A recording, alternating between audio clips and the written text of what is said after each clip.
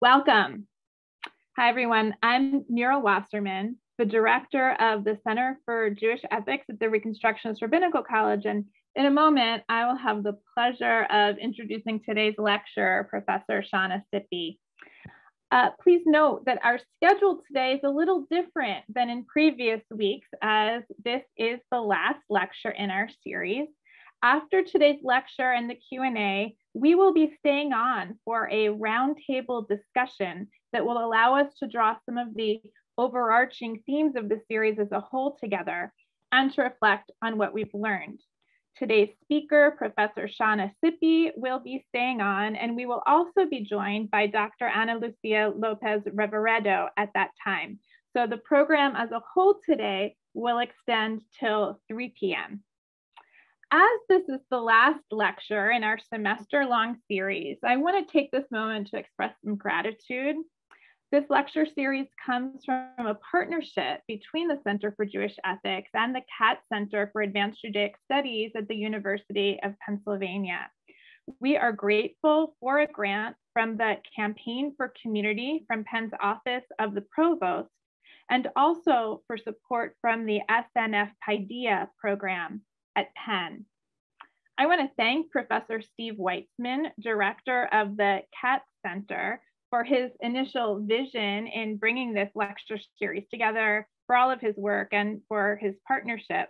And I also want to thank the staff members at the Katz Center who have worked on all of these programs. Behind the scenes are Diana Dennis Walters, Brian Lipscomb, and Becky Friedman.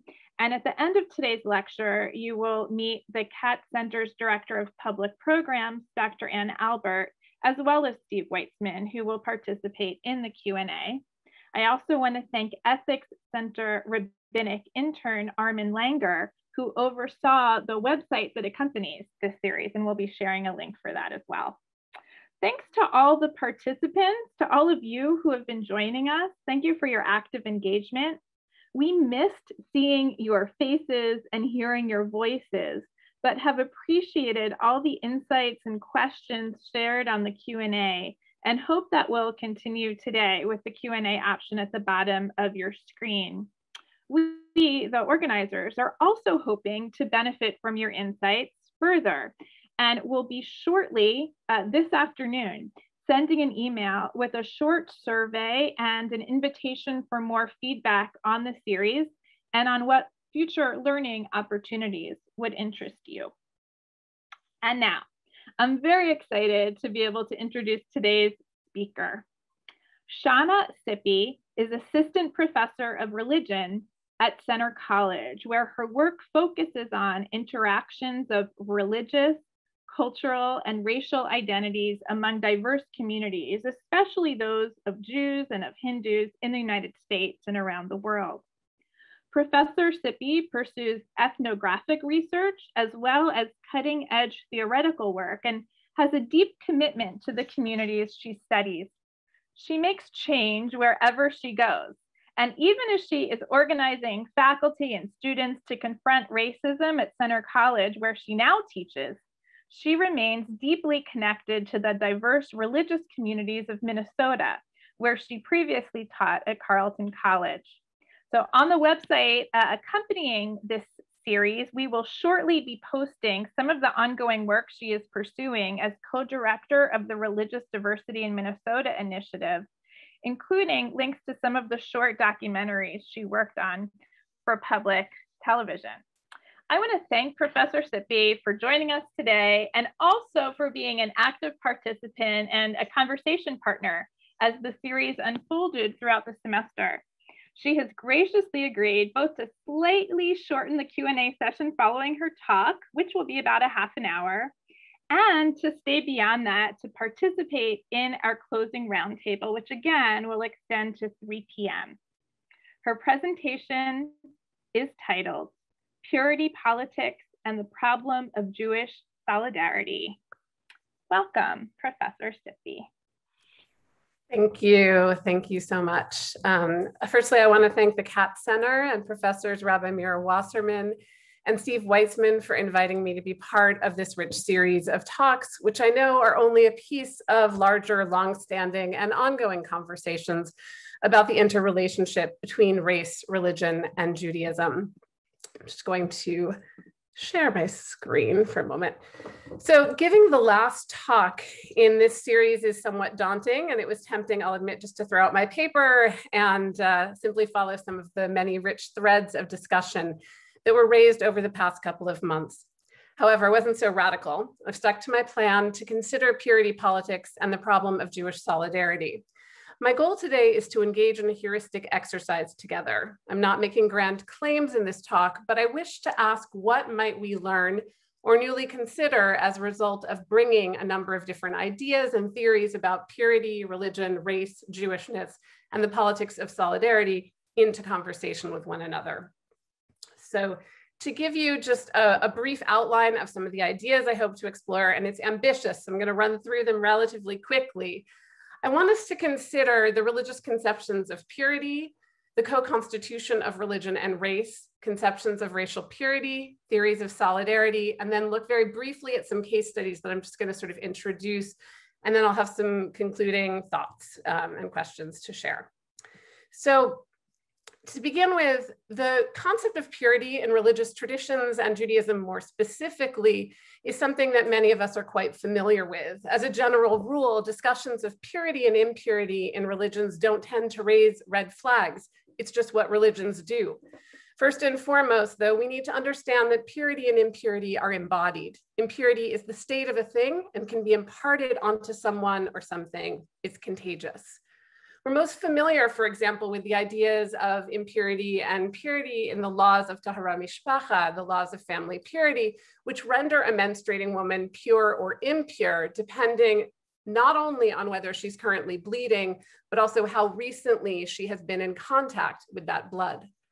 This is true as well with respect to contact with a corpse or carrion, for example. So when status is based on their proximity to impurity in space, matter, and time tahara uh, is a state of ritual purity and, and impurity is imparted by and through a host of things and activities.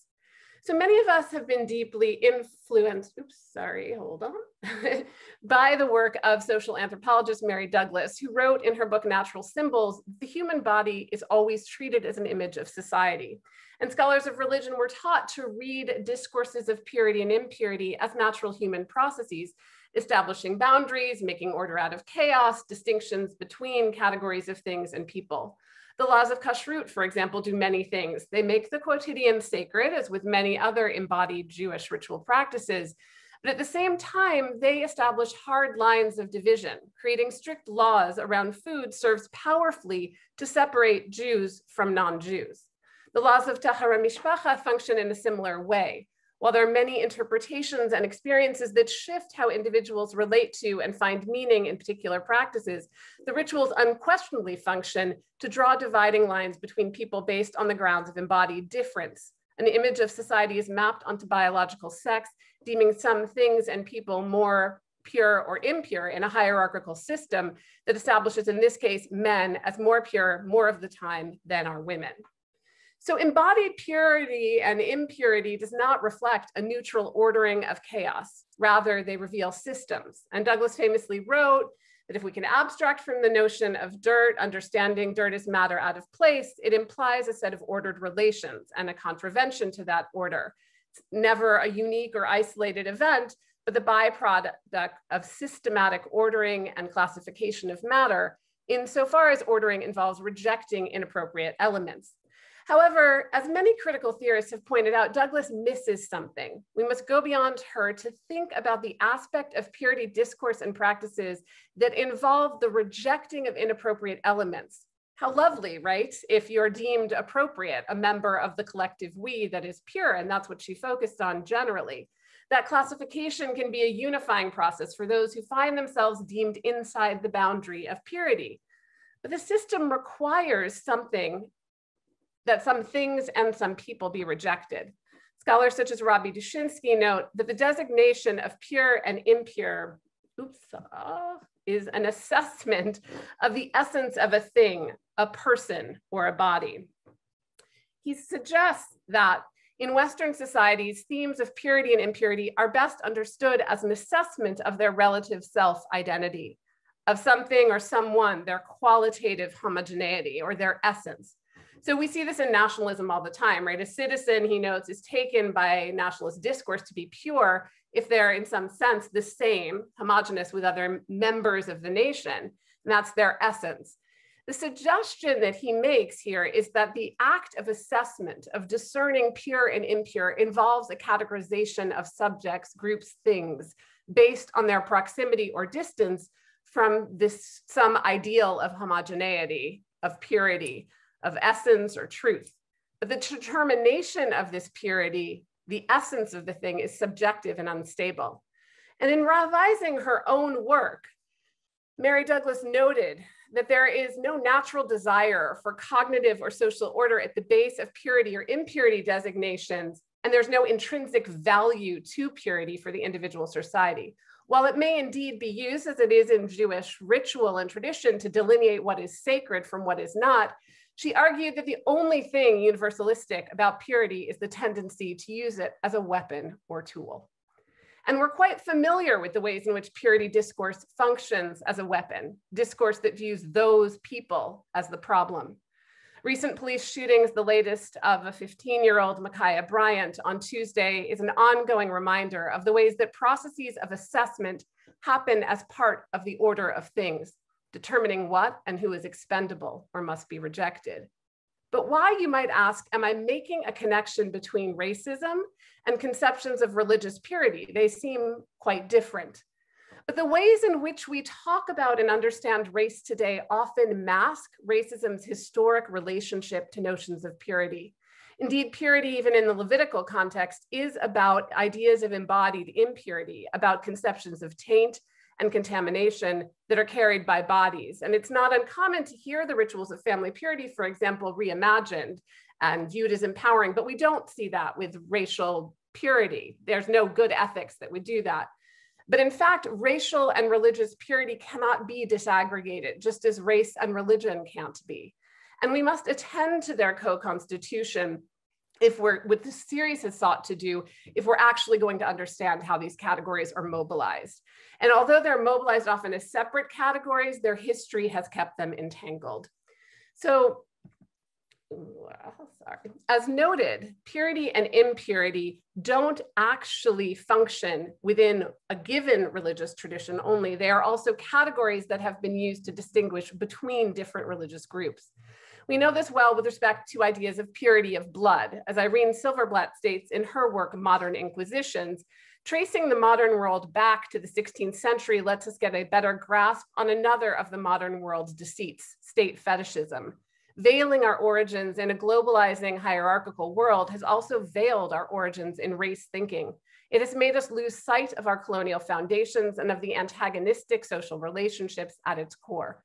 Yes, race thinking, nationalist sentiments, bureaucratic rule, colonialism, and the nascent capitalist economic order girding them had different roots and different paths, but history joined them 500 years ago, and history accordingly paved the way for an onslaught of often deadly confusions. Silverblatt goes on to talk about this race thinking that emerges, and that in fact, inquisitors were charged with certifying Spanish purity of blood, which was defined as the absence of Jewish or Moorish blood, right? And overseeing religious orthodoxy, which was assessed based on purity of blood. So the idea of blood purity wasn't limited, though, to the Inquisition. Religious difference, skin color, geographic origin all coalesce in Orientalist and colonial definitions of race. The processes of racialization were intimately linked to ideas about the relative purity or impurity of particular groups, particular religions, who were in fact distinct races Hindus, Jews, Moors, Christians. Atiya Husain notes that race is a political system operating on multiple levels that emerge from the context of European expansion in the modern era through violence, including conquest, slavery, and colonization. Religion, specifically Christianity, was used to provide ideological support for this violence through the citing of religious texts and attempts to convert colonized populations. Additionally, the black, white, or white, non-white logic that racism rests on is based on the binary logic of Christian heathen, in which religion is also a way to identify and categorize bodies. She says that due to this context, race signifies superiority and inferiority with reference to phenotype, geography, culture, and religion, which are all written onto the body as a site of difference. And so race has always been perpetually entangled with the category of religion and is always marked, as she said, with religious difference and in, must be understood in the context of systems of power, which were used as a way to organize bodies and identify them, who could be colonized and who couldn't be. So she says that in order for scholarship to take seriously that religion is always implicit with, in discussions of race is absolutely critical. And that since the moment race was born in early modern Europe, religion was racialized. And after that moment, she says religion is embedded in the social, racialized social system. And so the question scholars should be asking is not if religious groups are racialized, but how and to what end. So religion lives on within the concept of race. And so, for example, while both skin color and religion existed before the category of race, they were, she notes, essential to its construction and given new significance upon being racialized. So it's typically unnecessary to make an argument for how skin color was racialized centuries ago and fuels contemporary racial processes. And with respect to Jewish history, the relationship between religious identity and racial purity should come as no surprise, not just in the Inquisition or in the ways in which the very category of religion emerged as part of an Orientalist and colonial project that understood Jews and Judaism as a less evolved race, one that had been superseded by Christianity but in Nazi Germany as well, we see how conceptions of religious and racial purity were championed by racial science that was merged with the nationalist project, blood and soil. At work in nationalisms are notions of pure blood of the national body who can be contaminated, polluted by the impure blood of the Jew, the immigrant, the African, but also the pure blood of a nation's sons when spilled in sacrifice sanctify the soil, right? So you have both aspects of the purity of blood at work. And while purity and impurity in Judaism, for example, was not traditionally linked to a person's moral status, Zoltan Balas notes that in Christian thought, which lays the foundation for our modern definitions of both race and religion, the idea of purity was also not just bodily, but as Kierkegaard put it, about a purity of heart, a sign of virtue and morality that was not just action, but intention. And such ideas about inherent virtue were associated with a particular race and a religion, white Christians and not with others, Jews, pagans, Muslims, Arabs, Africans, Hindus. So what does this relationship between race and religion mean for Jewish identity? Although since the Holocaust in particular, Jewish thinkers have sought to distance themselves from defining Jews as a race, favoring the idea of Judaism as a religion, making that distinction is all the more complicated because the two categories are imbricated, as we have seen. And I think it's important to note that ideas about Jews as a race were found within the Christian world, regardless of what color skin Jews had. Jews of color and white Jews were still racialized as Jews, even if and when they were other things as well. Well, there have always been Jews of color, color wasn't always interpreted as race. Furthermore, we know well from the work of scholars like Leora Batnitzky, among others, that the notion of Judaism as a religion, like the category of religion itself, is a modern idea that has never fully captured the whole of Jewish identity. Jews haven't ever fully discarded the idea that they are an ethnicity or race, even as Jews and Judaism have become other things, a religion, a culture, a people, and after the founding of the state of Israel, a nation. So now you might ask, what does all this have to do with contemporary Jewry and the matter of solidarity? How, I want to ask, have these notions of purity and impurity, of race and religion functioned to shape the very contours of contemporary political solidarity?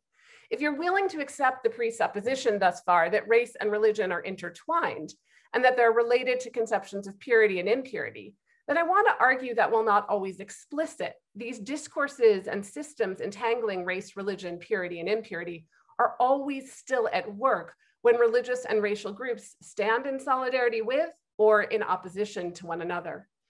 The very notion of political solidarity rests on the idea that different groups of people come together to work toward a common goal. In her book, Race and the Politics of Solidarity, Juliet Hooker considers what forms the basis for solidarities and why certain solidarities are more likely than others. She writes, racial seeing has tremendous consequences for political solidarity, as solidarity is crucially dependent on vision and imagination. It's not accidental that um, excuse me, sorry. I just lost my screen. Um, it's not accidental that solidarity is routinely described in terms of the capacity to envision a shared collective identity. And she points to Richard Rorty's claim that our sense of solidarity is strongest when those with whom solidarity is expressed are thought of as one of us. The embodied dimension of race, she notes, means that it operates through visible markers of difference, so that racial others are not only invisible morally, but have actually been seen as invisible, inferior, and thus not imagined as part of a desired collective. So drawing on Rorty, Hooker maintains that solidarity is always affective in the sense that, quote, feelings of solidarity are necessarily a matter of which similarities and dissimilarities strike us as salient. Which similarities and dissimilarities strike us as salient. And because solidarity is based on what Rorty calls fellow feeling, then to form solidarities which by nature involve bridging difference requires imagination. And Hooker describes this as the imaginative ability to see strange people as fellow sufferers. She suggests that solidarity should be created by increasing our sensitivity to the particular details of the pain and humiliation of others, unfamiliar sorts of people.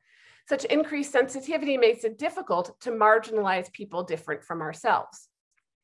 So then if this is the case, if solidarities are matters of which solid similarities and dissimilarities strike us as salient, why has the organized Jewish community so often chosen to align with evangelical Christian Zionist anti-Semites, but been ambivalent at best, not even about solidarities, but simply conversations or listening to lectures about a whole host of issues by activists or groups, including Muslim organizations, activists in BLM, and even Jewish groups who have supported Palestinian liberation or been associated with the BDS movement. For a moment, I want to think about Christian evangelicalism and its relationship to conceptions of racial purity. In her work on white evangelical racism, Penn professor Anthea Butler notes that in the 1970s, Reverend Bob Jones III was worried less about immorality and its relationship to communism than he was about interracial relationships.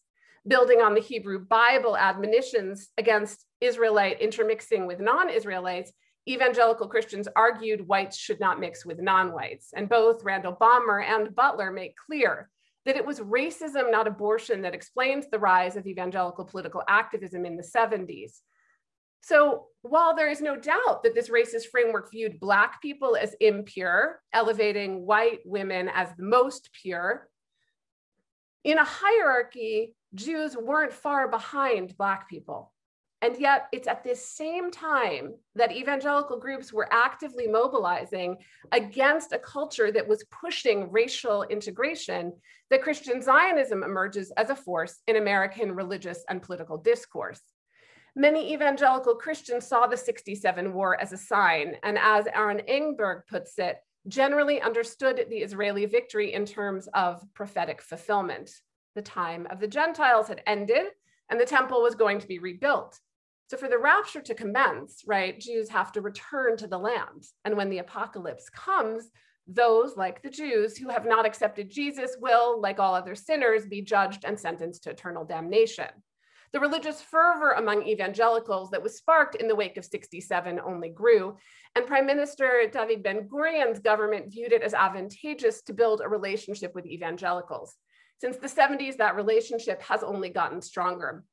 And Yaakov Ariel notes that Jewish secular leaders chose very actively to look the other way, even in the face of evangelical Christian missionary efforts, so that they would maintain this strong relationship with American Christian Zionist groups assuring them that they would not interfere with their work. Indeed, it wasn't only secular Jews, but in 1988, Ariel notes that the magazine Nekuda Settlement, an organ of, of the Jewish settlements in Judea and Samaria, published an article praising the International Christian Embassy in Jerusalem and said that they, unlike many Jews, realized that the Bible authorized the Jews to settle their land.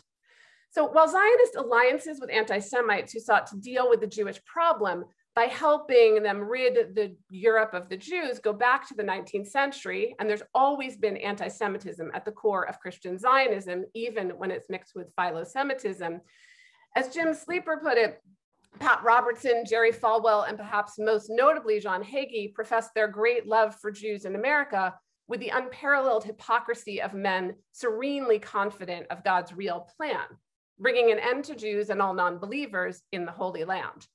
And this is how among the insurrectionists on January 6, we saw Israeli flags alongside 6 million is not enough t-shirts. This is not a contradiction.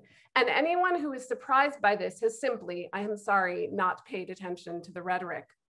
The choice to engage with Christian evangelicals from the beginning required, I would argue, a type of cognitive dissonance, or to use the language of Linda Alcoff, a willful ignorance, which she said is not a matter of neglect, but a substantive epistemic practice in which ignorance emerges from cognitive norms, structural privilege, and situated identities.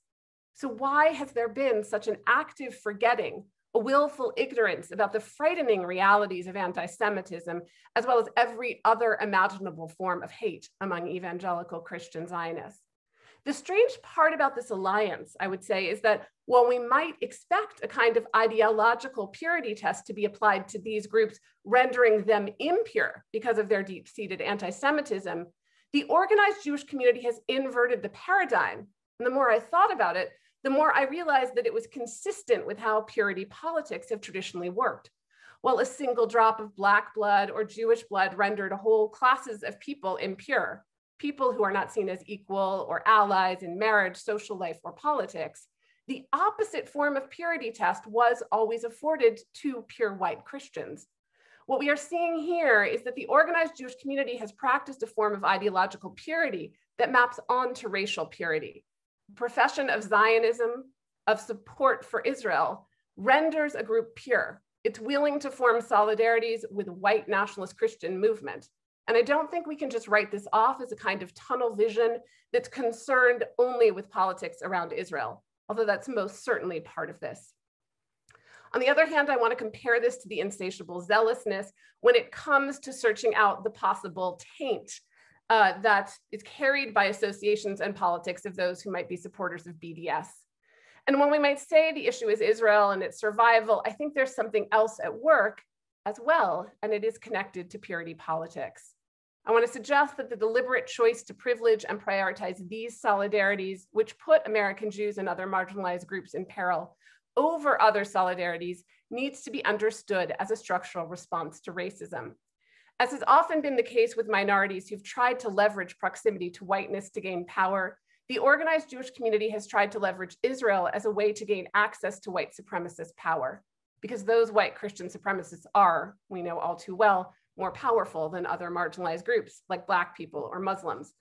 So I don't have the full time to go into what I'd like to with respect to looking at the Jewish community's policing of the boundaries of acceptable discourse about Israel and who Jewish organizations can partner with, what we can see is that there have been strict disciplinary practices, a vigilance that stands in stark contrast to the willful ignorance at work in Christian Zionists and Jewish solidarities.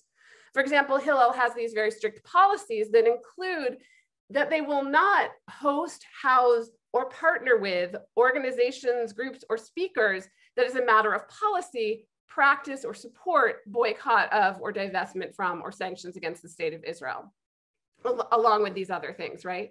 But we need to understand that BIPOC communities have long understood that the oppression of one group is linked to the oppression of another. People have found strength in solidarity. And groups like Open Hillel, founded in 2012, were created in response to this sense. And I, so I, there's a, a whole bunch of examples that I could look at, including the, the multiple times that Hillel sort of canceled events, protested events, uh, protested Angela Davis's speaking because of her um, you know, a Brandeis graduate, Angela Davis, is speaking at, at talks because of her support for BDS. And what I want to sort of think about here and, and sort of move to is that this kind of ideological purity, the sort of one drop of blood test that's put on BDS means that we are not engaging or in solidarity with uh, so many groups that might actually be very productive alliances right? And, and might lead to very important and productive conversations. So I'll end by saying that I believe that no scholarship is neutral. And while what we do is always political, the question is only how we choose to recognize the political implications of our work, what kinds of questions we ask, and how we direct them towards broader political processes in the world. In her book, Against Purity, Living Ethically in Compromised Times, Alexis Shotwell names the fact that there's no food we can eat, clothing we can buy, or energy we can use without deepening our ties to complex webs of suffering. She seeks to consider what she calls the usefulness of thinking about complicity and compromise as a starting point for action. The idea that there can never be pure bodies or pure races or pure ideologies is not only a fallacy, that, that there can ever be them is not only a fallacy, but it is profoundly dangerous. Purity thinking has, in the case of the organized Jewish community, meant that all the anti-Semitic, racist, sexist discourse in evangelical Zionism was overlooked because of perceived purity of support for Israel. But I hope even with the little bit that I was able to cover today that I made clear that there's nothing pure about that alliance. The compromises it involves not only deny the humanity of Palestinians as a matter of concern, but they put Jews and Blacks and Muslims and other minorities, as well as women's autonomy, over their own bodies in peril. So what's been the cost of that alliance? An alliance that shows white supremacy, that involved the Jewish communities leveraging a desired proximity to white Christianness. What has that gained us? More years of Netanyahu, more settlements, more suffering? In the case of both Jews and non-Jews who support Palestinian rights and even BDS, purity politics has meant that fear of contamination has precluded discourse and solidarity with peoples whose concerns, whose position, whose engagement might be very productive. If solidarity is most powerful when we are able to see one another's suffering, then maybe that should be our criteria for engagement. We always have to compromise. There's no purity, because purity is a system of domination. Shotwell argues against purism because it's a bad approach. It shuts down precisely the field of possibility, she says, that, quote, might allow us to take better collective action against the destruction of the world Purism is a decollectivizing, demobilizing, paradoxical politics of despair. The fact is that purity discourses and ideologies always privilege one thing, one aspect of being or thought over others, a single drop of blood, a single ideological position that changes one person's status from pure, acceptable to unacceptable or impure. The very nature of purity practices that they function metonymically, viewing a single part as a contaminant that renders the whole impure.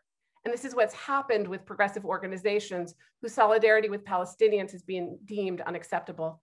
But all alliances are not equal, and none of us can be pure in our own commitments or investments. For Jews of color, specifically Black Jews, to shun from Jewish spaces thinkers like Angela Davis and call into question, as was done, the possibility of Jewish support for BLM because there have been expressions of solidarities with Palestinian liberation groups is particularly painful.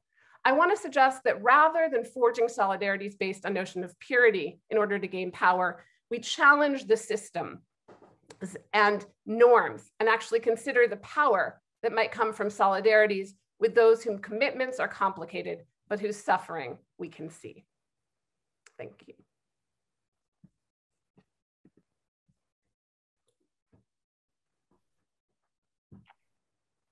Thank you so much. Um, thank you for a, a, a really intriguing, um, rich, and provocative talk. So uh, I have the opportunity to start off um, a short exchange with you.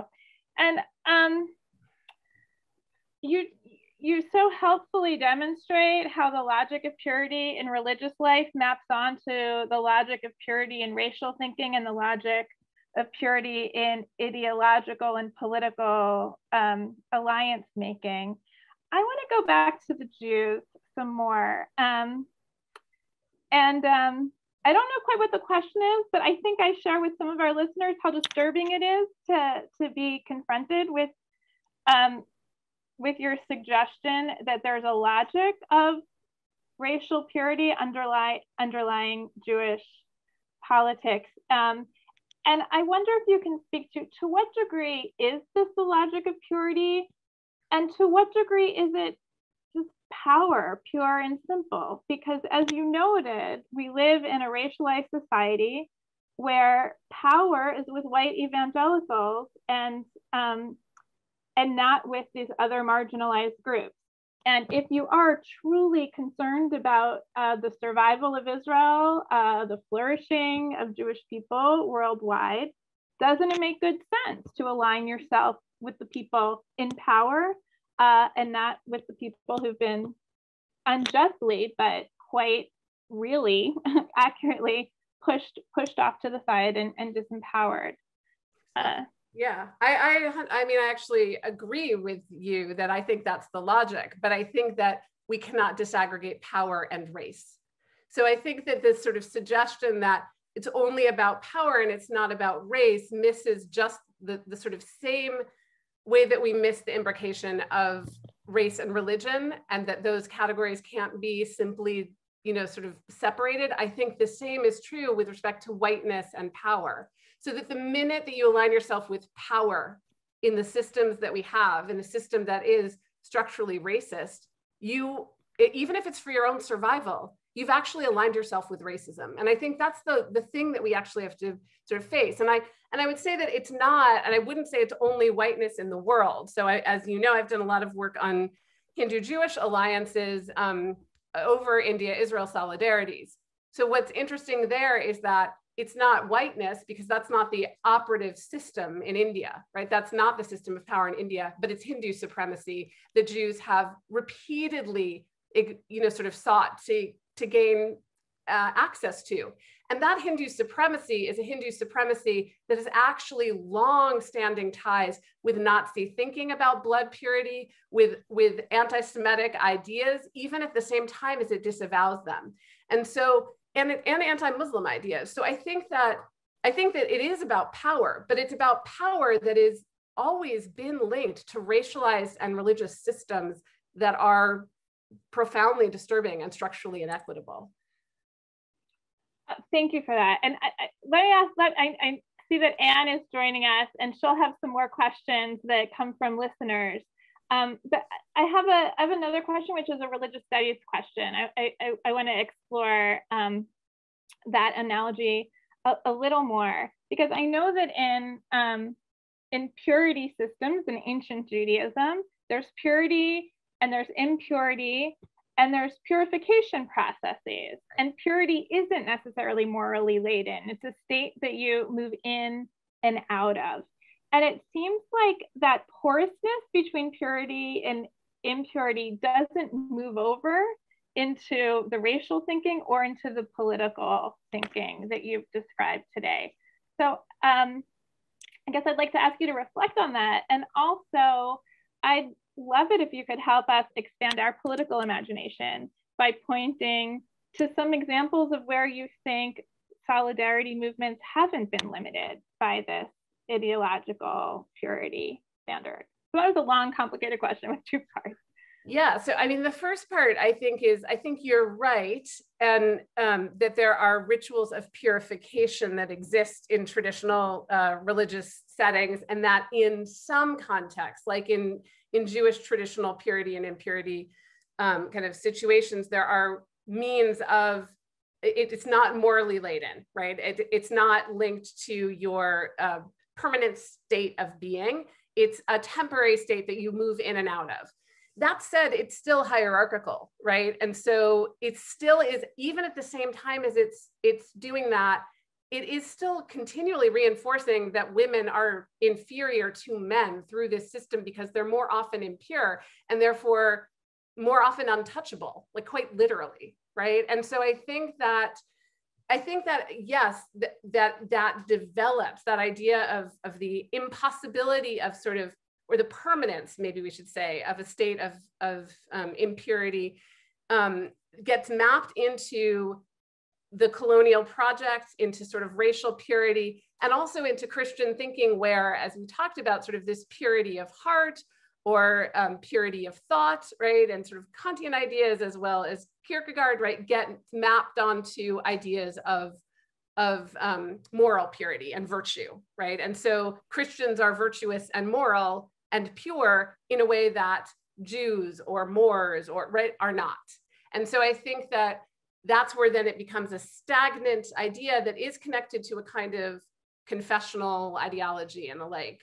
Um, I don't know if that answers it, but I do think it, it is evolved and become less fluid, as, as you're saying, or sort of less um, shiftable. Um, I, I, with respect to, I think there are many feminist alliances, and I do think BLM has worked really well. I think it has been a movement that people have come together across communities. And I think a lot of Jews actually, I think it pushed a lot of Jews. The initial sort of, um, the initial pushback against the BLM platform that um, that mentioned Israel, a lot of Jews felt like they couldn't not support BLM, right? And so it the Jewish community found a way, I think, for the most part, to to hold on to that alliance and to stand with the Black community in this time of racial reckoning.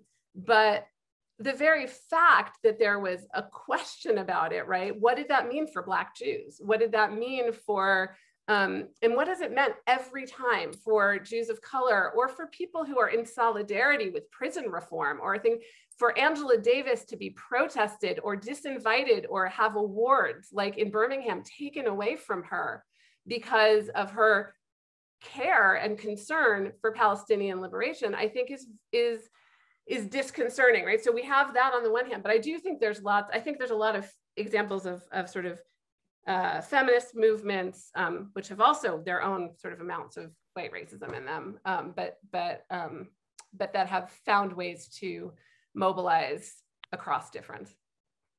Thank you. And I'm going to invite Anne to jump in with some questions um, from the Q&A.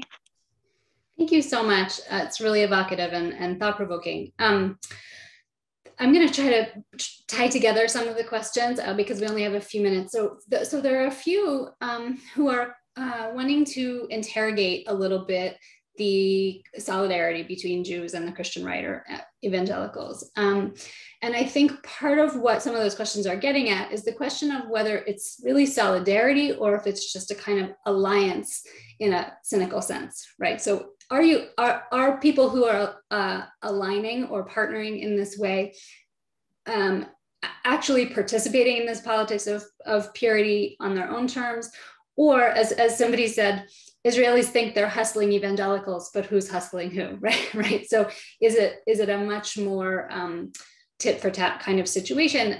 Um, and and how does seeing it that way affect the framework that you're presenting?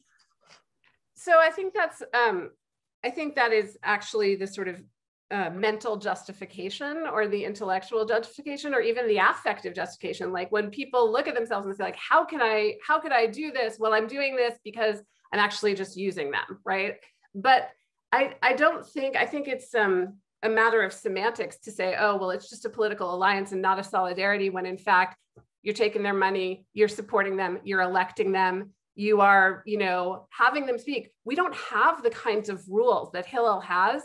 We, we don't, there's not written rules. I searched Hillel, right? Hillel's platforms. I searched Federation platforms. There's all these things about not aligning with groups that have shown any association with, with BDS, which means many, many Muslim groups, right?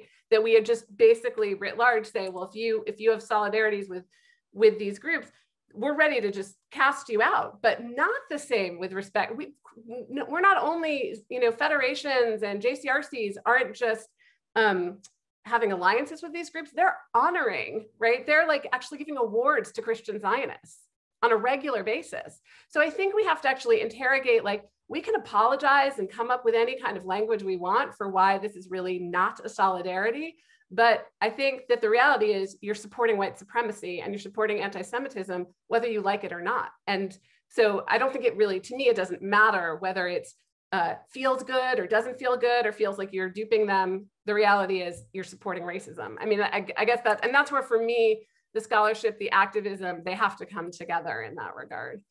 Um. We have time for one more short one, or should we?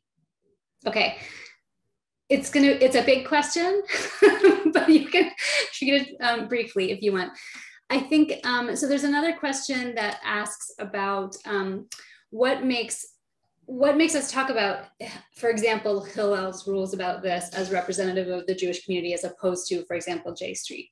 And I think that might be part of a broader question about whether there are not the same, but similar or parallel um, sort of purity politics on the other side of, of the aisle. Right. Well, I think that's that is a big question. So I will say, like for example, Eric Fingerhut, you know, pulled out of a J Street conference because on a different panel, not the one he was on, there was going to be um, Saeb uh, Erekat, I believe, who, who was a Palestinian negotiator, and he refused to participate in the whole conference because uh, he was going to, you know, be speaking at it. So yes, that's the purity politics on that end. And I do think it is fair to say that there is a kind of, and, and this is where, right, people will sort of talk about the purity politics on the left. I think it is fair to suggest that there are ways in which just as people don't understand the intersectionality, even the Jewish community is sometimes blind to the intersectionality of its own community, right? And the, the sort of complicated identities that mean that people don't have a single solidarity or a single commitment, right? We're not, we're not only committed to one, you know, value, and therefore we may find ourselves marching in the street with people who we don't ally ourselves with on other things.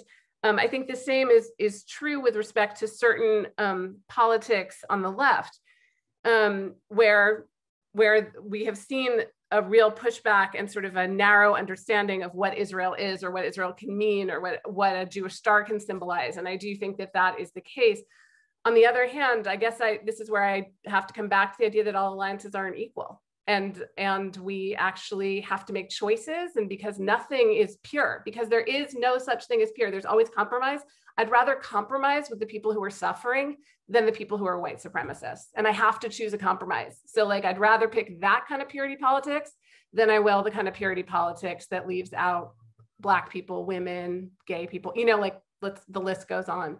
So i mean for me it's it's it's not about whether or not we'll make compromises it's just which ones we're making um, Thank you. Thank you so much. I think we'll have an opportunity to return to some of these issues uh, of activism, solidarity, identity um, in the next part of our program. But we are going to make a transition now. I have some new people to welcome, and I want to invite those of you who are listening to take a breath, to stand up and stretch if you want to, uh, and to get ready for um, the second part of our time together which uh, is a roundtable that will allow us to reflect on some of the larger issues of race, religion, and the Jews that have emerged over the course of this whole lecture series.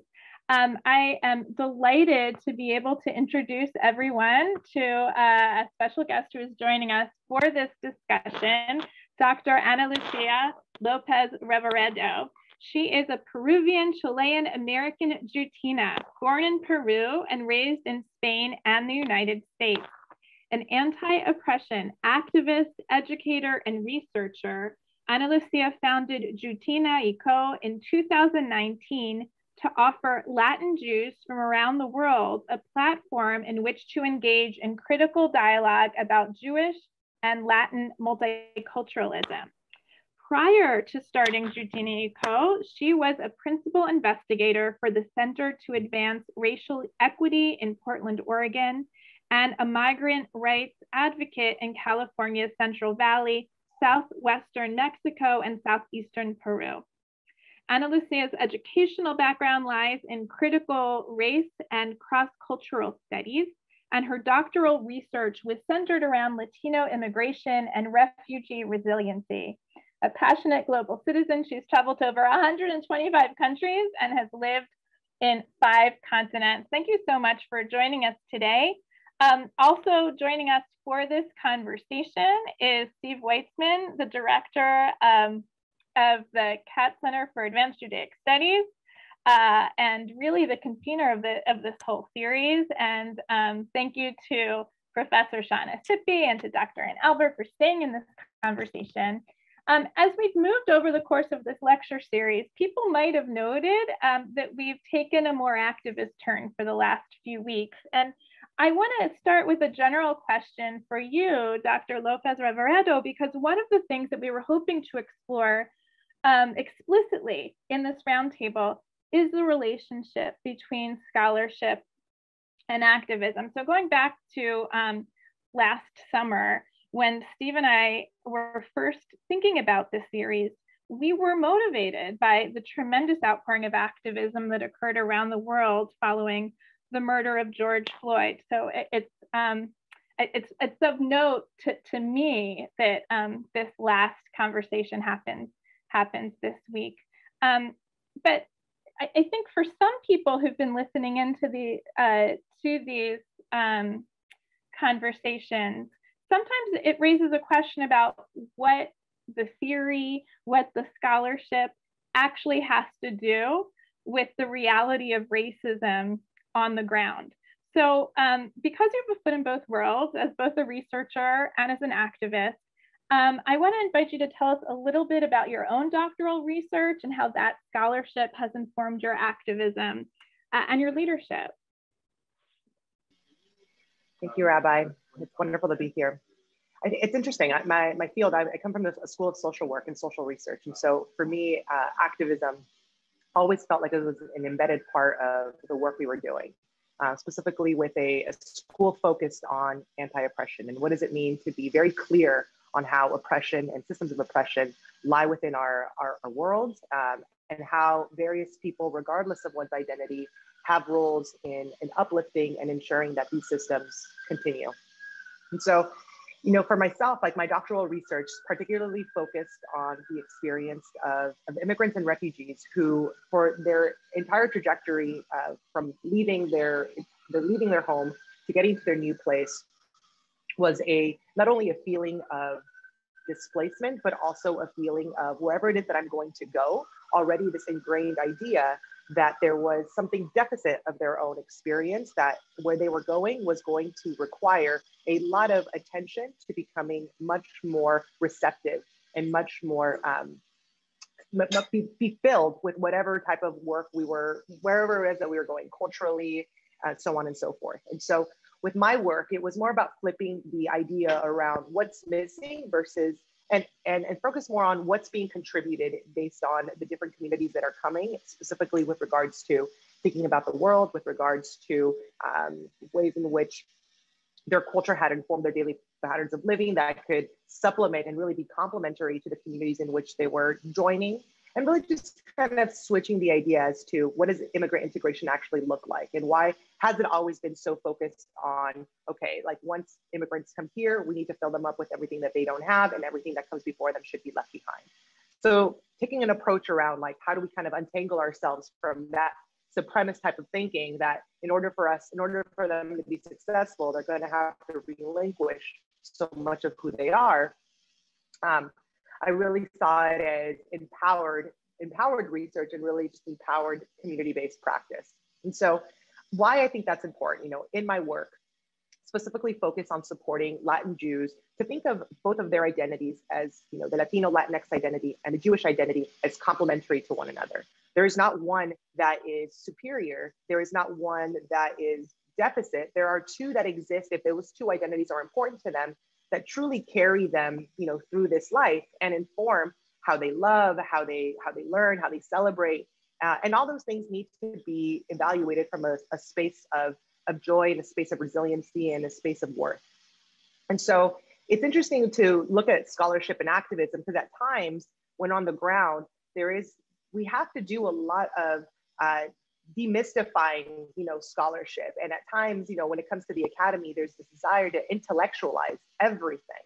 But when we're talking about things on the ground that's continuously being a tool to stay elitist and a, and a tool to separate. It's like there is our own forms of supremacy that exist within the academy. And when it comes to activism it's how do we untangle all of these things that we ourselves have become biased to that we ourselves thrive in and we've found a way in which to succeed in but when it comes to activism can feel a lot more isolating and a lot more of a reason to separate ourselves from what's happening on the ground. And I think for myself as a woman of color, as a Latina in academia, being you know one of the smallest communities, uh, identifying communities within uh, within the academy, it's important for me to recognize that I have to do a lot more code switching when it comes to like my activities that I'm incorporating scholarship. And I also recognize and wanting to move certain needles forward towards prioritizing the advancement of, of racial equity and the dismantling of white supremacy that we can't get so stuck on theory. And, and I love theory, don't get me wrong. I love thinking about things through a, a wider perspective. But when it comes to action, we sometimes get so stuck in our head that we forget, okay, so what are the next steps that are actually going to make what I'm thinking and what I'm saying are my ethical values and are, are my driving values for why I want something to advance and actually putting it into action. Um, thank you for that. And I, I, think I'd like to bring Shana back into the conversation now. Shana, we invited you to speak here um, because of your scholarship, and part of your scholarship is studying um, social movements and religious movements. And so now I'd like to speak to you as someone who is both a scholar and an activist and really ask the same question what relationship do you see uh, between scholarly research uh, and um, work for change, uh, anti-racism, anti-oppression work?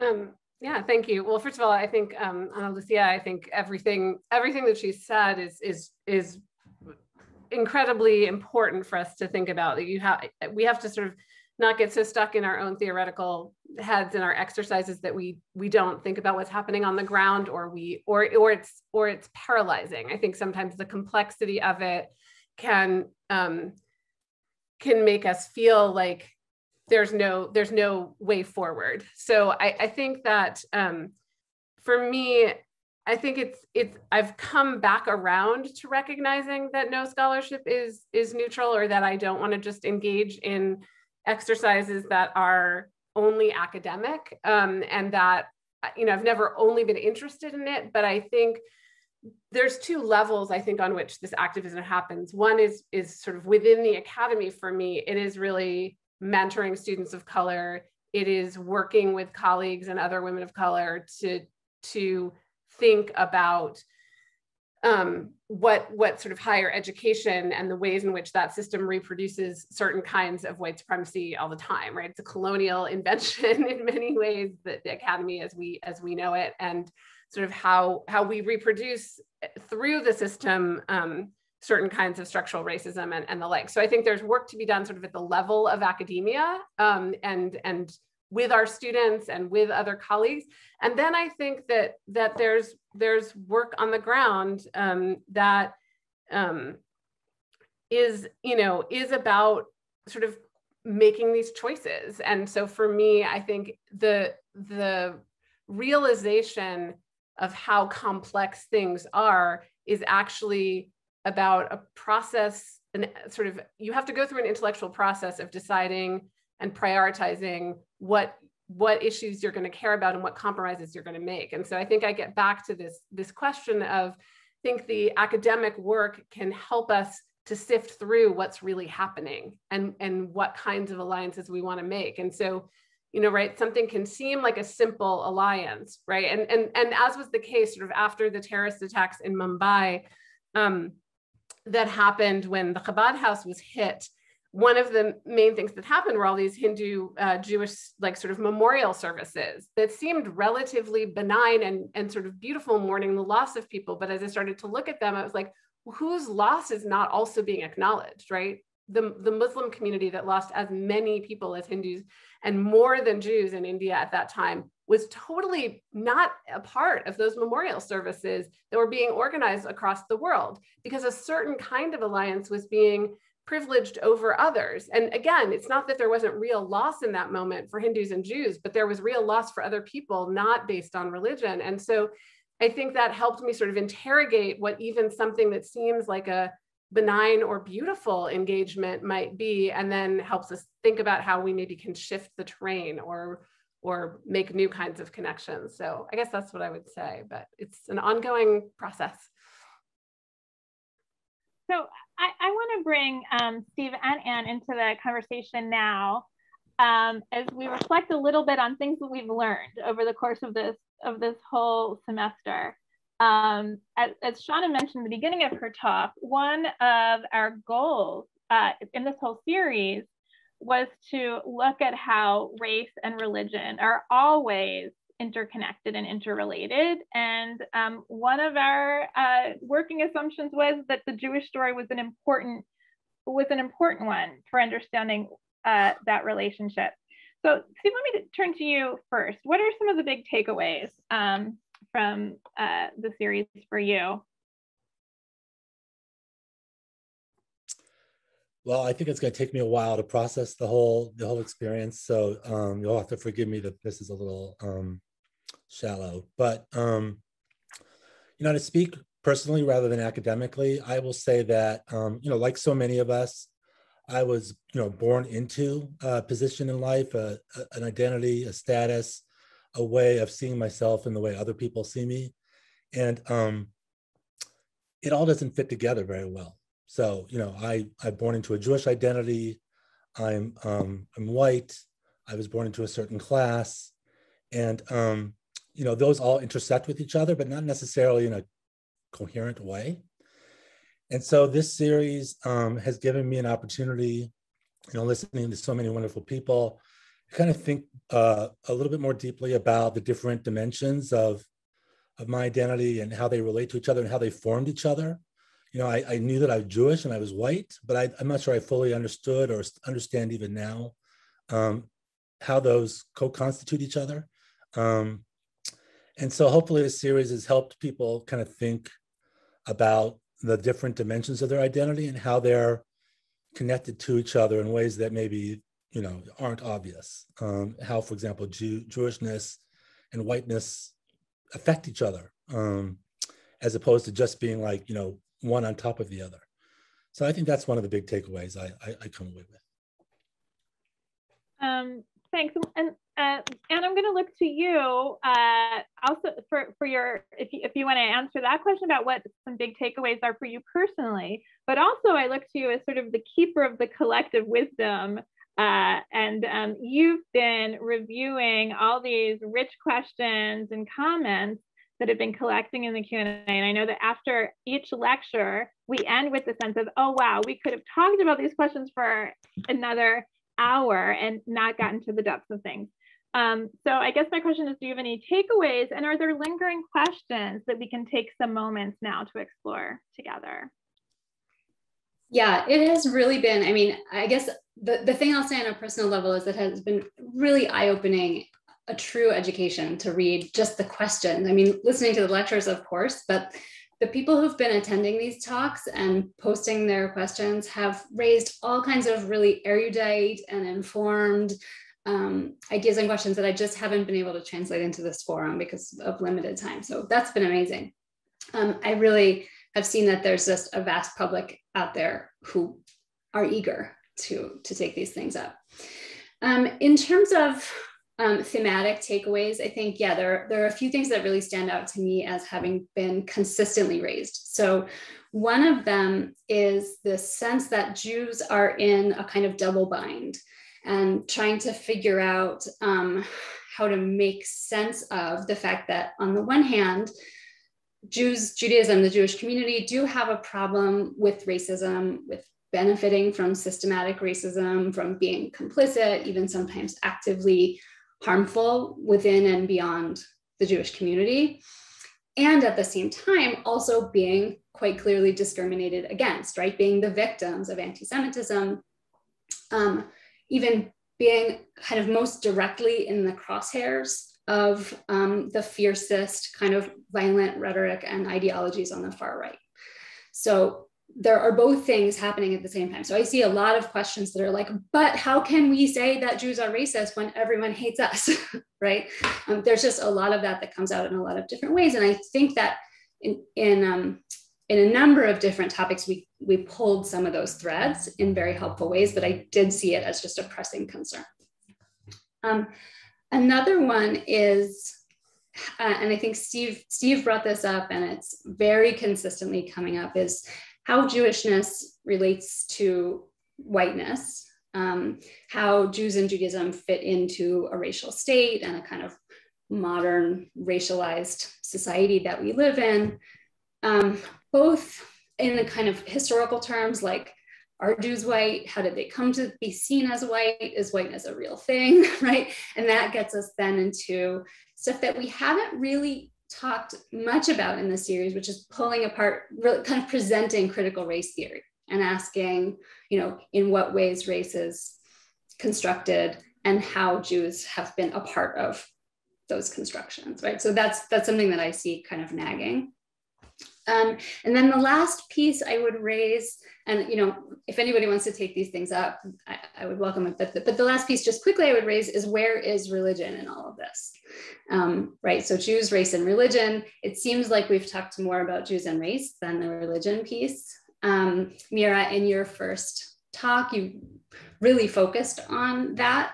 But since then, it has felt like we've really looked at the side of Jewishness that's ethnic and embodied and social and political rather than in um, whatever it may be, ritual or rabbinic law or any other parts of, of kind of religious Judaism, right? So um, there have been on occasion questions from the audience that ask really particular questions about, about aspects of Jewish religion, but it's been frankly difficult to incorporate them into the, the sort of central thread. So that's what I would say. This is a great overview. Um, and I'm going to use the three themes that you identified to try to organize. I, I, don't know if we'll get to all of them, but to try to sort of organize our talk uh, uh, as we as we go forward. So I want to um, note that even as we've been having this lecture series, I know that Steve has also been teaching a class for undergraduates. So this is a nice shout out to all the Penn students who've been studying uh, uh, the Jews, race, and, and religion. And um, one of the readings for that course uh, had to do with the relationship between whiteness and Jewishness and the history of white Jews. So white, I don't even know how to talk talk about this, but white Jews becoming white. So, Steve, I wonder if you can sort of just briefly engage the literature on how Jews became white, and then I want to invite our other guests um, to reflect on, on on that question as well. Yeah, there's been a lot of research on that. I mean, um, a lot of it has to do with the United States. So we have to remember that the United States has, you know, its own racialized culture, and things work differently in other parts of the world um, and whiteness means something different in different parts of the world. But um, you know, I have in mind, you know, scholars like Eric Goldstein, The Price of Whiteness, you know, which is already, you know, probably two decades old, old already.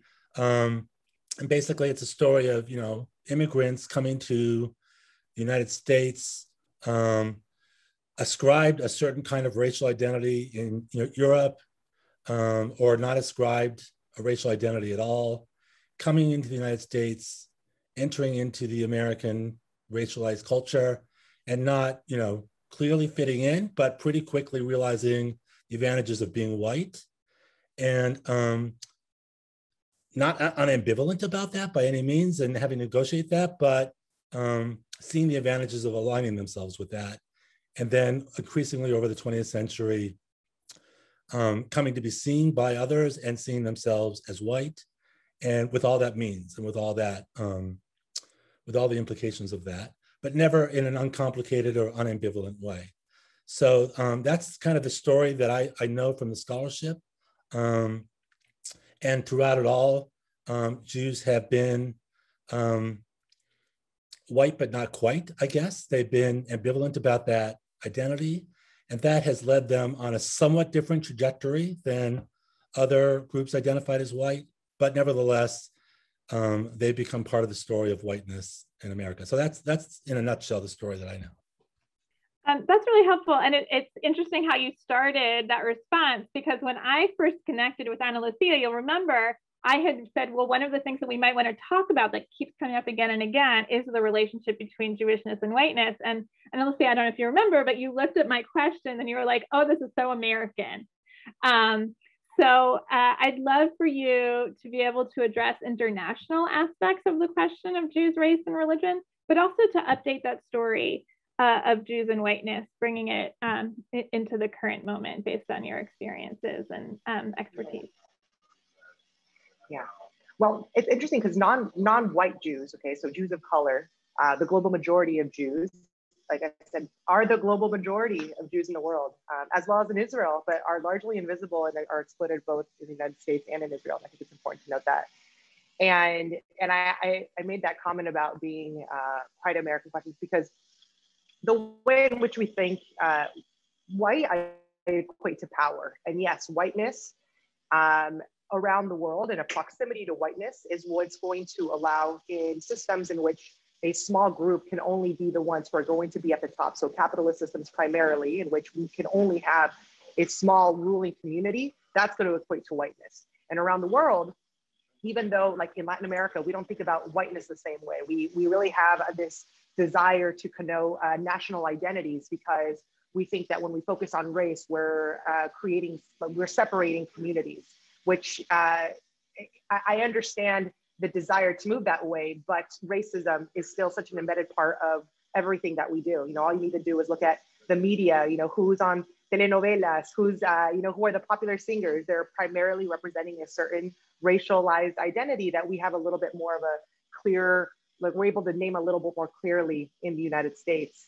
Um, similarly, in France, uh, my partner is French, and the majority of French Jews, you know, uh, uh largely are Jews that are uh, that come from North Africa and really started to, um, as a result of the number of Jews that were living pre World War II, leaving France or being interned. The majority of Jews that populate France today are are Sephardim, uh, Mizrahim, who have a different identity and who their own understanding of what does it mean to be French is always convoluted because on one end, you know, they're they're thought of as French, but like outside of the world, they're thought of as French, but in France, you know, they're North African. But in the United States, they're considered white.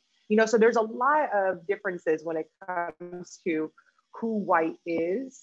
And similarly, we can have that same conversation about, you know, who white is in Israel. Like over, you know, Israel is, is fairly new. And so it's interesting to be watching what's happening and, and, and, and recognizing that we're talking about, you know, just, just over 70 years old. So fairly young um, and also like a desire to replicate a lot of what was happening around the world in terms of successful governments, which were, you know, American governments that were ruled by an idea of whiteness and in order and, and had to kind of survive with that notion. And over the last 20 years, particularly over the last 30 years at this point, we saw a, I mean, a ton of migration from the former Soviet Union, and we saw a ton of migration, and we saw in the 80s the majority of the migration from the Ethiopian Jews, and you know, it's interesting because both of those groups were experienced an immense amount of discrimination when they entered uh, when they entered Israel, or they when they went into their diaspora communities. The difference is that you know, 30 years from now, so you know, a couple more generations to go, uh, the the Jew that that have from Russian descent, you know, the Jew whose grandparents were born in Russia in the early 90s, and the Jews whose grandparents were born in Ethiopia in the 80s, they're going to still have very different, they're going to have a difference. Some, somehow, you know, the, they might both have the name Gal and Tal, but there's still going to be a racial difference there that's going to continue to play out. And yet there's still like not a clear, keen desire to want to think about race in this context. And so, so one of the questions came up like, you know, whiteness, like, is this, is this even a thing? It's, it's not, but it is, you know, like we understand that this is all racially constructed, but it means something. And we've made it mean something because of our our our insist our incessant desire to keep certain power things, certain powerful things at play. Um, and like like uh, Dr. Weitzman said, like there is a there was an understanding of there's something here when it comes to being white, and I might not be there yet, but I can strive to get there. And eventually that is what happened. And there was a lot of benefits to, you know, primarily like in the 1950s, 1960s, Jews becoming white when it came to access to higher education, when it came to access to buying their first homes, access that wasn't made available to Black folks who had been living in the United States for longer periods of time. And so I think that that's, those are real clear understandings. And so when, um, I think when we're talking, talking about race, and even though we might not necessarily, uh, even though we might have a very a complicated relationship to what that means, we need to be able to hold comp- the complication in one hand, like something that's complicated in one hand, and also recognize that despite its complication, like we've still benefited greatly from that. And I think that that's just kind of like the the fluidity of you know identity, and that, that what we need to take in this moment in time. So, Shana, let me bring you into the conversation. Um, I'm particularly interested in what Analucía suggested, to, to what degree do all Jews benefit from the association of Jewishness and whiteness, even Jews who aren't white? Is that something we can talk about? Do you see that happening? Um, yeah, I mean, I think I think we can, depending on where we are um, in the world, and I I also think that um, I think it's tricky, right? I, what what um, Steve, what you're talking about about sort of being white and not white i think that i think that it's useful to think about proximate whiteness right and you can benefit from white privilege and you can benefit from and you can be white passing and you can but i actually think this is where and, and this is where Analucía was talking about sort of that complexity of identity i think that the reality because of the the sort of real power of white nationalist groups right and this ideology means that Jews haven't fully arrived at white, even white Jews, right? Even white Jews who have complete benefit of white privilege in 99.9% of the, you know, sort of context of America, there's still places in which you're still, you're not going to be fully white. And that's where whiteness and Christianness and a particular kind, right? Even Black Christians can't ever achieve that, right? Because those categories come to be imbricated. So whiteness at the sort of hierarchical top level of, of this system of domination is about a particular kind of white Christianness, right? And I think that that's part of where when we talk about religion, right, we we um, we need to see those categories as connected. And I think, I mean, one thing that I find really troubling, right, is is sort of when you hear Spencer praise the state of Israel um, and, and Zionism, because of the fact that he views it as an ideology, right? Um, that that is, uh, you know, an ideology that is focused on ethnic cleansing, right? and he thinks that that's what what uh, you know that's his goal as well then we sort of have to wonder about sort of where is where is whiteness or how does a kind of, of supremacy function in Israel, right? And how like that's what I'm talking like we we see Hindu supremacy in India right now, right, as a part of Hindu nationalism. And so what are the sort of what are the sort of different forms of hierarchy and supremacy that function in different places, I think is worth talking about. So I, I agree that even Jews of color benefit from the fact that the majority of Jews in the United States benefit from white privilege, and the majority of Jews in the United States are still of Ashkenazi origin, and therefore institutions have been built and access has paved the way. And so there's all of these privileges, financial as well as sort of entree into worlds that often Jews of color get because of that. But they're still barred at the door all the time, too, right? They still experience racism, even in those institutions where they have access. Um, so I think that I think it's just not clean. I think I think you know what what is very clear to me, and um, and I guess I want to get back to part of what um, what Anne, what you talked about about sort of the religious piece of this is that I actually think these are all parts of of sort of contemporary American rituals, right? So the going to the pride you know, parade, but just going with your synagogue and waving your flag, that is a, a, religious ritual now in America, right? And I don't think we can um, sort of separate that from, you know, what happens at the bar mitzvah, um, you know, and that that's like a religious ceremony and this is not, because I think this sort of performance of identity has become a, a huge aspect, and certainly the performance of nationalism um, has become a huge aspect of American Jewish religious life. Um, it's why we have, you know, since the 1950s, you know, 50s, uh, you know, a, an American flag and an Israeli flag in a lot of synagogue spaces, right? So those, those, I guess I, I sort of push back against the idea that that isn't religion at work, right? I just think it's a new set of rituals and a new set of ways that people are finding meaning um, in these articulations, but I'll stop there. Thanks. And I, I want to circle back to Steve uh, and uh, invite you now to pick up this religion question. Um, how, how have you seen our dialogues about Jewish identity um, helping us to complicate or enrich our notions of Jewish identity? And, and, and where, where does ritual fit into that? Where do ethics and values fit into that? Um, any any thoughts on, on the question of where religion fits into the story?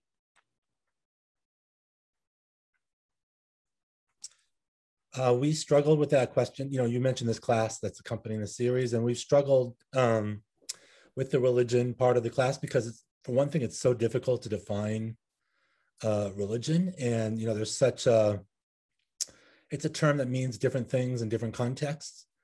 And, um, you know, as Shana was just pointing out, um, you can locate, you know, the boundary between religion and the secular is not always clear. And what many people might identify as the civic or the secular um, can have religion like components. Um, so it's really, really difficult to um, draw a circle around what religion is. Um, part of the reason we want, I thought Jews were a great case study in understanding the interaction between religion and race is because you know religion and race and ethnicity and nationhood they all mix together in complicated ways in Jewish identity. Um, so um, we've struggled with that over the course of the semester. But what I did, there were two kind of takeaways that I guess I wanted to highlight. One is that um, if people were here for the very first lecture, I evoked a very famous um, speech by Abraham Joshua Heschel, where he saw religion and race as the opposite of each other. Religion offered a solution to the problem of race. Religion is what tied people together. Um, race is what divides people.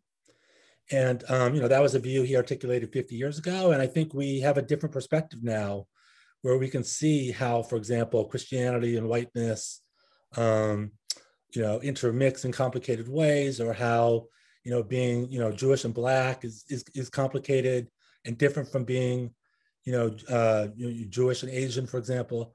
Um, so I really wanted to, um, you know, not spend time on religion as a separate thing and race as a separate thing, but really kind of explore their interconnection. So I feel like my I'm, I'm blabbering on too long, so I'm going to stop there. Um, no, that's really fine. I, I, this um, the first point that Anne made, I want to get back to because it has come up again and again. And I don't know if there's a question here as much uh, as an acknowledgement that I'd invite anyone who wants to, to weigh in on um, about this double bind. Um, because uh, as, as Shana mentioned, even as um, white Jews especially have all of these doors open because of white privilege, um, Jewishness still means um, that there are places where discrimination is real, um, and we are all limited in different ways by racialized thinking. So acknowledging that double bind, was there a question in there, Anne? I, I mean, I feel, I, I, think there's a sense um, of, of pushback against it because it's hard to hold both of these truths together at the same time. Um, and I think maybe it's new learning for um, white Jews about uh, about the privileges that we have. Did, was there a question about that that we can turn to the to the panel on? I don't know if I, I don't know if I can put it into a question very well. Um, I I guess I I suppose that another maybe the way to do it is this. Another a fourth thing that I didn't mention is that the questions very often turned to what can we do, right? Like so much of what we've talked about, as I think I think um, Shana said this, and then Steve said it in a different way, and a lot of what um, Lucia said that it's not clean. These things are not clean, right? Like Steve, it's true. Like it's a it's almost a cliche in teaching Judaism to undergrads that you talk about, you know, is Judaism um, a people a people or a religion, right? And that, an ethnicity or a religion, and and the answer is always like both and neither, and it's complicated, and that's why we're talking about it, right? Um, and I think that's that's what we've done here, and it's been like a really teachable moment to to show how not uncomplicated those things are so, okay, once you get to that point, then so many people are like, all right, like, how can I help fix it? Like, what can I do either in my community or in my reading or in my relationships? And so, I guess that's what I would say as the question, given that we have scholar activists. Great. Thanks for your help moving us toward a question. And since we're moving to the end of our time, um, that's really helpful. Let me also say in terms of next steps that by now you might have in your inbox everybody who's listening an email inviting you to do a quick survey and an invitation for feedback. And um, we'd like these conversations to continue and we'd like to be a part of them. So please give us your feedback and help us sort of look, look ahead to next steps for our programs. Um, but for individuals, um, what are some next steps now that sort of we're confronting the reality of racism, of how white supremacy um, seems um, so powerful uh, in um, American culture, especially. Um, oh, it looks like Analucía might be frozen. Can you hear me? Let me start with Shana. Shana, what are some I can hear steps? You. Oh, you can hear me. Okay, so Analucía, next steps for individuals for action or for learning? So I guess there's two things I'd say. Uh, you know, I'm noticing that there is a, a real concern with the idea that um, the Jewish community is not one monolithic thing or does not think in one way. And I, we do need to acknowledge the sort of vast uh, complexity of difference that exists even within the American Jewish community. And I know that um, there are many Jews of color who are very invested in the idea of Judaism as a religion, right? And using that category because it seems like it does in some ways what Heschel, you know, it sort of was promising in that it, it sort of erases race from a from from a kind of point of entry, right? Like that that that you you need to sort of fit into a certain category. So I think we I think we need to be attentive to to that all the time. I, I guess for me, if if we're talking about Jews watching this, um, and you know, and what what can be done, I think really asking the Jewish community um, with respect to, and this is what I was talking about in my talk, not Jewish community at large or not all Jews, but the organized Jewish community as far as our institutions, right? And where the money and power is for the most part.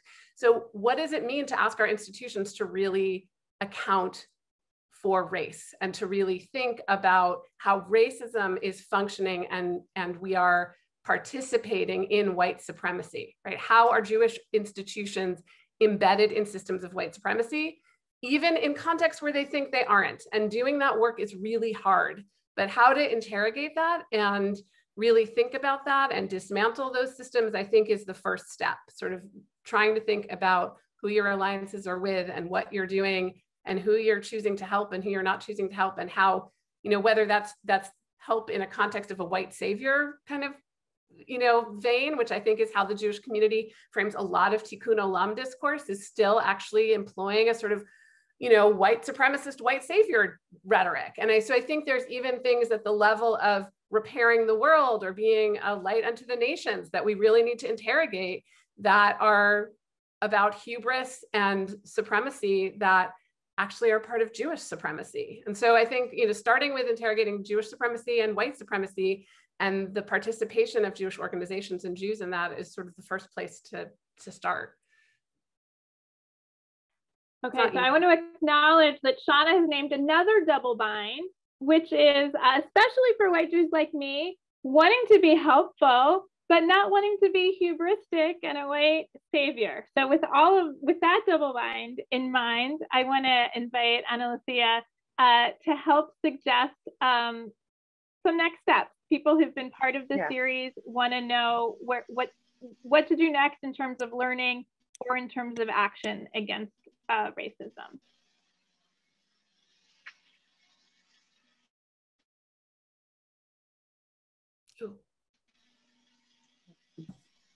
Yeah, right on. So to advance like racial equity and racial justice. Uh, this work takes time. Can you hear me? Now we can. Okay. This work is going to take a lot of time. Okay. Um, like I was mentioning, this work is going to take time. And one of the ways in which, and I, I love what Dr. Zabibi was just mentioning with regards to, it's so imperative that we recognize how white supremacy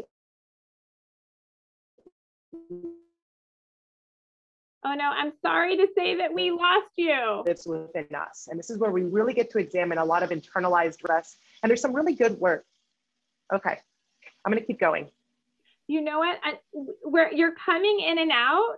And so I want to invite you to email me what you what you said because we weren't able to catch it and that way we will be able to share it with listeners um, please please do it's it's um and um got it thank you thank you um I, I, what we were able to hear is that uh, this is hard work and that it takes time and so I'm going to thank you uh, for that wisdom, uh, which seems uh, a good place to end on.